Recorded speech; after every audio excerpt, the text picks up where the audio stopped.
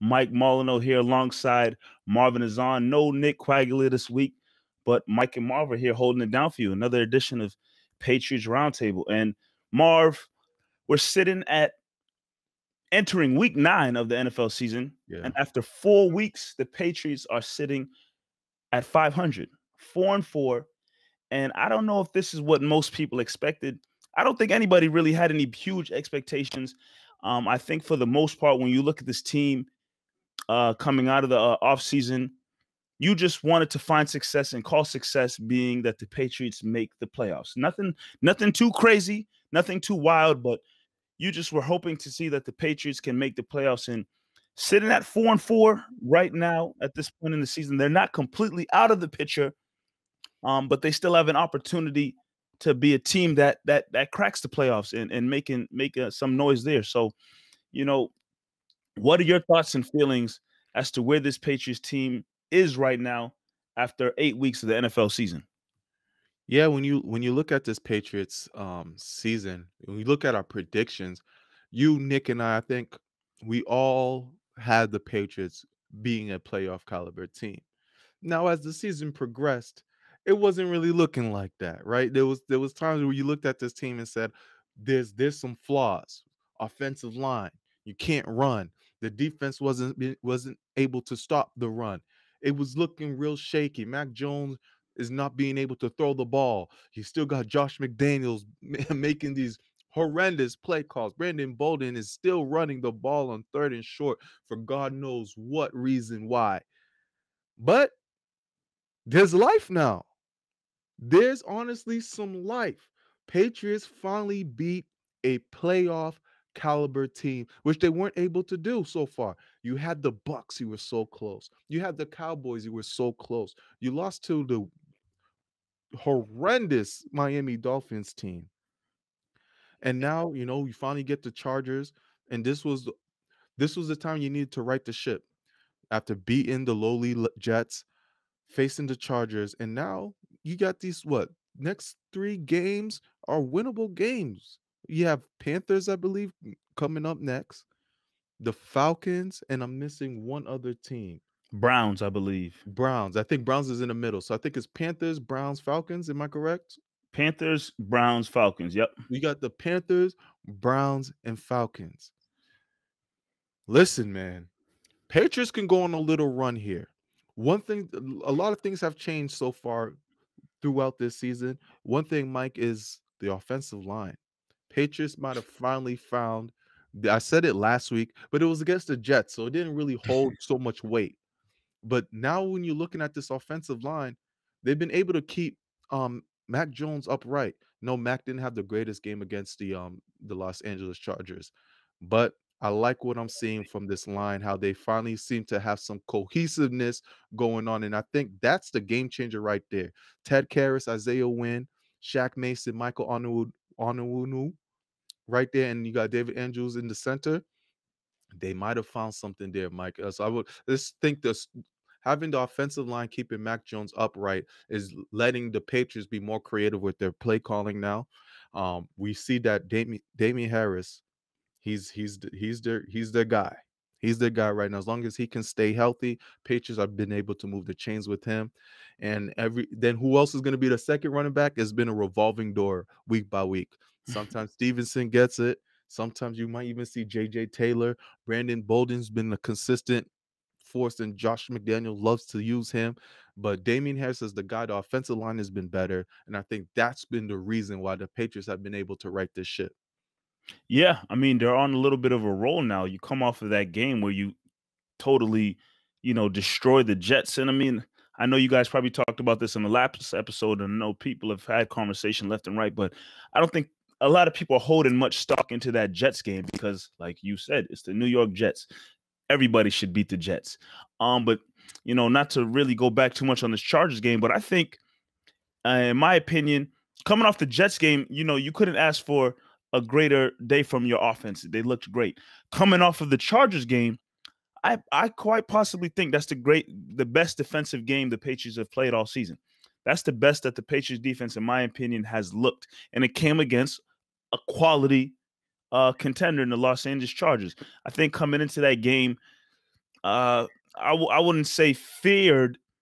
Uh, Justin Herbert is the fear is the word I'd use, but you know Justin Herbert is a pretty good quarterback in this league now, and you know he has weapons out there with with Mike Williams, with with Keenan Allen, with Austin Ekeler. He has guys that can make plays down the field. So you know I know a lot of people, including myself, worried that this Patriots defense would struggle against you know a, a pretty a pretty high powered offense like the Chargers, but they held their own, kind of keeping Herbert in check, getting pressure on the quarterback, um, not letting you know big plays happen down the field to, to Mike Williams. They definitely held him in check. I know for sure, thanks to fantasy football.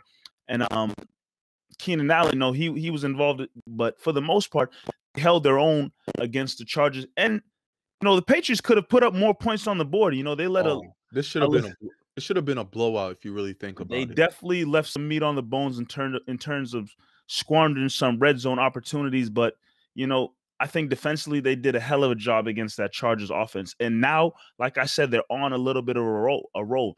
And you spoke about it right there with the teams coming up next, the Carolina Panthers, the Cleveland Browns, the Atlanta Falcons. Those are three teams right there where the Patriots have an opportunity to beat these these teams. You know, Carolina started off hot but kind of felt they've fallen off in the last couple of weeks. Didn't believe it. Sam Darnold has come back down to earth a little bit. You know, not having McCaffrey hurts their offense, but you know, Carolina Panthers are not the team that they were to start the year. Cleveland Browns, I don't know what's going on. I don't even know what's the status of Baker Mayfield. Is he Baker, playing? Is he not? Baker played. He played last week. Okay, so he's in there, but he's definitely yeah. hobbled. Um, they don't have their their star running back in Nick Chubb. I don't know if he'll be back for week 10. Kareem Hunt's also dealing with injury. Uh, I know uh, Landry, Jarvis Landry's dealing with injury, and Odell Beckham Jr. is back, but he's yeah, zero factor not, in that offense. No, no, no Dell Beckham. so yeah, and then Atlanta Falcons. I just think the Patriots are in the Atlanta Falcons' head and in Matt Matt Ryan's head, just still from that Super Bowl victory a couple years ago. But Marv, I tell you this: a week ago, before before week eight, I'd probably say, well, Tennessee Titans, geez, that that offense, King Henry is something to be worried about. Yeah. There's no King Henry anymore. Yeah, it's it's looking like he's out for what six to ten weeks. Six to ten weeks. So he definitely won't be in that week uh 12, I believe it's week 12. Week 12 matchup when the Patriots take on the Tennessee Titans at Gillette Stadium. And we could quite, quite possibly looking at a team that could be eight and four after week week twelve. I don't want to uh, jump to any crazy conclusions. Listen, what AJ Brown a bad man. Tannehill can still throw the ball and be creative. You got Julio there, who's probably going to be healthier by that time. Titans are going to figure it out. I mean, Patriots will have a chance. We saw what they did against the Chargers. We've seen what they've done against playoff caliber teams. They've either been close or they've they've given their best. So, so Tennessee's gonna is not gonna be able to roll over the Patriots. Also losing Derrick Henry hurts. And I know we're looking we're looking ahead, like we're, we're skipping three teams by talking about this, but it it makes Derrick Henry being hurt makes things interesting for the exactly. AFC. And so because t- Titans were looking really good. Kansas City not being Kansas City has really made AFC very interesting. At times you thinking it's the Ravens. Then you see the Ravens get beat by the Bengals bad. Then you're like you're looking at the Bengals team, you're like, oh, Bengals look pretty damn good. Then they go and lose to the uh, to Mike White in the Jets. Who? And so like the AFC wide open. The uh, other than the Bills who look like the the constant team, Bills are the, probably the only team in the AFC where I don't see a part in special teams, offense, and defense where they have a weakness. Yeah, they're they're I mean, a real solid team in the AFC. There's not many of that in the AFC. NFC, there's a couple teams I can look at and be like, okay, they they're they're they're fully united. You got the Buccaneers. I don't see weakness in offense, defense, special teams.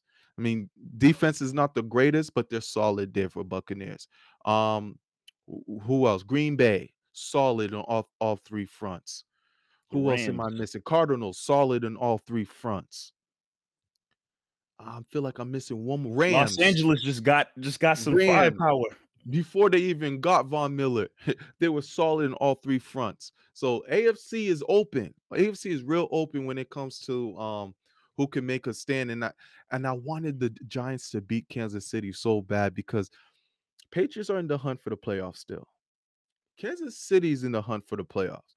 You don't want to, you don't want to go on a race neck and neck with Kansas City, no matter what. I understand that they haven't looked the greatest, but at the end of the day, that's still Patrick Mahomes. And as the season goes on, who knows what magic they can still contend with while they still have Tyreek Hill and Travis Kelce healthy. AFC is definitely looking wide open. And I mean, there's a lot of thing with a lot of a lot of football left to be played. You know, especially in the AFC, you don't know where things can can go and how things can unfold. Wild card question for you, loading up Marv. No, so, this could be crazy, but I'm gonna ask it because you know we have all types of conversations on roundtable. Mac Jones.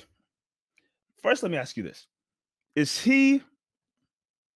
He's the best out of the rookie quarterback starting, is he the best one? TBD. Okay. TBD because it's not it's he's he's in the best situation. Mm-hmm. He's in the best situation. I don't I don't know how Justin Fields would would work out if he was with the Patriots. I don't know what Trey Lance would look like if he was with the Patriots. He's I'll tell you one thing though, he's better than Zach Wilson. he's better than Zach Wilson.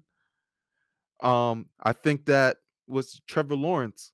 If he was with the Patriots, think he do. I think he'd do pretty well. I think if Mac Jones was with the Jaguars, I don't know how well he'd be doing. So TBD. I like Mac Jones. I think he, you know, all the talks was he was NFL ready, and he proved it. He proved he was NFL ready. Patriots were comfortable enough of letting go Cam Newton and giving him the reins. Um, it's possible that he could be the best out the bunch, but it's too early still to determine that. So then, is it also too early, or is it not too early? Is it possible to throw Mac Jones' name in the hat for offensive rookie of the year? I mean, you can throw it in there. He's not going to win there's a there's a there's a guy called Ja'Marr Chase. ah, Ja'Marr yeah. Chase is going to win the offensive rookie of the year. You know what I'm saying? This But guy, there's still a lot of time left. Ja'Marr Chase is about to break records. Mac Jones, let's hope he can get Patriots into the playoffs. I know usually these these awards favor quarterbacks. Ja'Marr Chase's he's about to break a record, right? That his old teammate Justin Justin Jefferson broke think I think his I think his is sealed and delivered. Mac Jones probably will be in the running for it, possibly even second place. But I think Ja'Marr Chase is the clear cut winner right now. If the season Right was to now. end, if the season was to end today, Ja'Marr Chase is a clear cut winner. Now, if Mac Jones goes on a crazy run here, like he didn't like Patriots won last week, right? No one's talking about Mac Jones and, and how Mac Jones Mac Jones didn't have a good game. He didn't have a great game. The some g- great games that he had, Patriots didn't win, and they haven't really unleashed him yet. We've seen the potential of Mac Jones, but we haven't seen him been able to be himself for four full quarters to give him that offensive rookie of the year. Is and most most of the success for Mac Jones right now in his early career is going to be the success of Bill Belichick. When I think about this Chargers win, I don't think of Mac Jones. I think, oh man, Bill Belichick constructed a great game plan to beat the Chargers. And that's going to happen to most teams. It happened to Brady. It's going to happen to most quarterbacks under a Bill Belichick team. You're not going to get the full credit that you deserve. Most players in general. Well, I think what you said is key. Right now, yeah, Ja'Marr Chase is looking like the guy, especially if he continues on the trajectory that he's on. It's signed, sealed, and delivered that he would be offensive rookie of the year. But also look at Mac Jones and the fact that he has nine weeks left, nine games left. Um, and slowly but surely, they're starting. I, I feel as if they're starting to let him rock a little bit more. Let him step back and do his thing a little more. If he found some consistency and gave us nine games where he's throwing between 250 300 yards average averaging some uh, some yards in between that and maybe can average close to 3 touchdowns a game. Maybe that's asking too much. But if he was to be somewhere between 300 250 and 300 yards a game and somewhere close to 3 touchdowns a game now you're talking about a, a 21 year old 22 year old quarterback doing something pretty pretty solid. And yes, the team has to make the playoffs. I think that's that's for sure. But if you were to do something like that in his next nine games, that would take a lot, though. Now you're changing the whole offensive game plan of how the Patriots have been running. Yeah, they're they're run heavy, and there's no reason why they're necessarily going to shift completely from run heavy, especially how Damien Harris has been running the football. But we also know Mac Jones has an arm and he has weapons out there that can be relied relied upon. That's a good question. Does he have great weapons? He that are how, how many weapons does he really have? Well, some some people feel as if I'm still I'm still the jury's still out for me, but some people feel as if they're not utilizing the tight ends as best as possible. Hunter Henry is getting utilized in the red zone. We know that. Jonnu Smith is not doing much. Jonnu Smith, the opportunities that we've seen him in have not looked good. They haven't looked good. And whether you can talk about utilization, how they're using him, or he's just dropping passes. He hasn't been able. One thing about Jonnu Smith that I envisioned was similar. I don't know if we can even say this name, but similar to an Aaron Hernandez type of role where we're going to use him as a running back. We're going to use him in slants. And once he gets the ball, he's going to get a lot of YAC. We haven't really seen that from Jonnu Smith yet. There's potential there, but we're eight weeks in. You spend a lot of money on him. Hmm. Agholor, his nothing his special. Best? Nothing special. Nothing special for Agholor. Bourne, as you guys know on this show, I'm a big fan of. He got benched pretty much last game for after that fumble. He only played like 30% of the snaps. Jakobi Meyers is is Mac Jones's guy.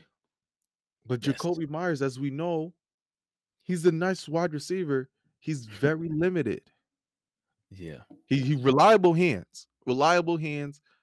You can use him in the third down, but you don't you don't get nothing spectacular from Jacoby. Yeah, his his spectacular rating on Madden would be pretty low. um, solid, solid wide receiver, and he makes the big catches. But I don't know. Hoping, hope, hopefully, he gets a touchdown soon, so that was, that that narrative could go away. Yeah, but there was a few sightings of N'Keal Harry that last game too. There was, there was. I don't, I don't know if that should re- we should be reading much into that, but they was on the they had some passes go to him. Could this be N'Keal rising from the ashes? But what would it take for us to, what would it take for us to see that? I mean, N'Keal will need to one stay on the beat field. out. He would have to beat out what Kendrick Bourne to get on the floor more. Because at, at right now, when they run three wide receivers, is Bourne, Meyers, and Agholor. Yep. Yeah. Yeah, it'd be tough for him unless uh, an, an injury or something were to take place. I don't think N'Keal Harry can. I mean, the trade trade deadline is gone, right? So True. he's, a great he's a great security blanket right now. If there is an injury, that you know you have a N'Keal Harry who could potentially make a big play for you in a, in a big spot of the game. Like that's so it's not it's not the worst thing in the world to have N'Keal, as yeah. long as he's healthy and this isn't and this isn't Cam Newton. You know, for for the most part, Mac Jones can get him the ball. Right. Um, Mac Jones is pretty damn accurate. I mean, he struggled in that Chargers game, but for the most part, he's shown that he's a pretty accurate quarterback and can get his his players the football. But you know, yeah, N'Keal Harry is definitely behind the depth chart, but there was some sightings of N'Keal Harry in that last game. So, I mean, it remains to be seen how the rest of the season looks for him. Before we get out of here, question on Mac Jones. I just want to hear your thoughts. What do you think of him outside of the field? Like when I watch his post game conference presses and when he's speaking, he's just a little too serious for me. Like he, I don't see any like, and I know the the players obviously rally around him and they really like him, but I just feel I get this vibe off of him like, damn man, relax. Like put your shoulders down, just talk, speak. He's just very he feels very uptight and sad, and I'm maybe he's just this rookie and he'll grow out of it. Tatum was kind of the same way when he was just a rookie. He would never look into the camera and he would be very soft spoken. But there's something about Mac, I don't know what it is. Yeah, I see that. And I think exactly what you said that I chalk it up to him right now just being he's, he's a kid. He's 21, 22 years old. First first year in the league. He's playing like this is a no, he's not on a sorry ass team where it's just like, oh well, we're going out there and we'll see what Right. playing for the New England Patriots and he's playing under Bill Belichick.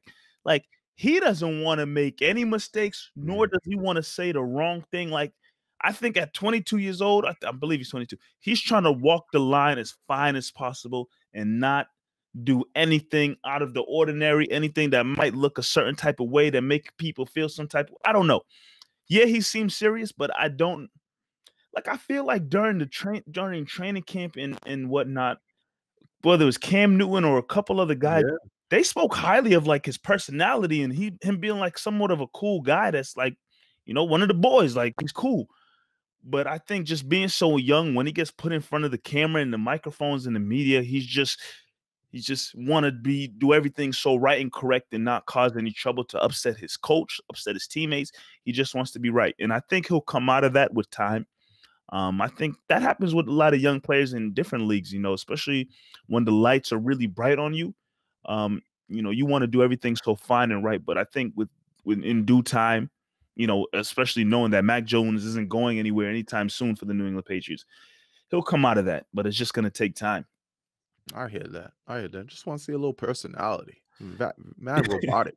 Yeah, he's robotic. I mean, but eh, he's playing pretty good. So Yeah. if that's what it is right now and he's going to be like that, then it is what it is. But I also at the same time believe he'll come out of that with due time. Will it be this year? Maybe not. Will it be Mac- next year? I don't know. But assuming Mac Jones is going to be here for the foreseeable future, he'll come out of that.